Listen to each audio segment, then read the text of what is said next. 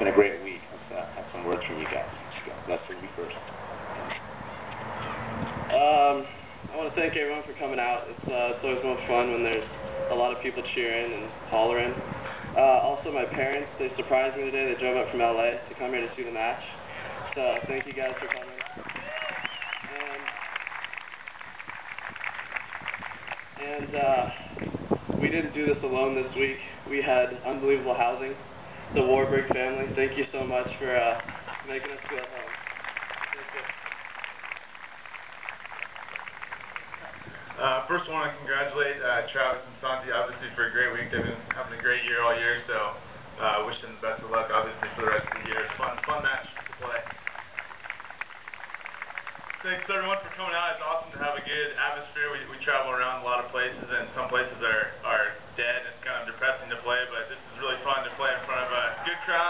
the crowd, so we, we appreciate it. I'll be running for governor of California one day. I just want to start that right now. um, yeah, Warburg family, I really can't thank them enough. I mean, words wouldn't do it. They've been housing me for like five years in a row, about six times per year, and I've had about 100 pumpkin pancakes and like 40 pieces of sourdough French toast.